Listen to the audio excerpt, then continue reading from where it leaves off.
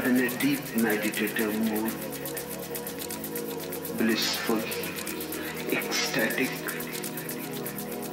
The body is not there.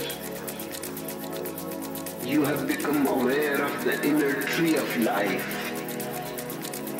and it is going higher and higher and you feel that you can fly.